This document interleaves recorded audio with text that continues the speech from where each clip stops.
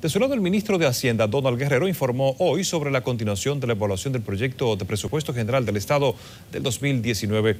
El funcionario dijo que todavía se está dentro del tiempo reglamentario para el estudio de la pieza. momento, pues, decidirá sobre el mismo. ¿Hasta cuándo podemos tener alguna no, Ellos tienen tiempo todavía, hasta finales de diciembre, que pueden tomarse el tiempo que. El 31 de diciembre.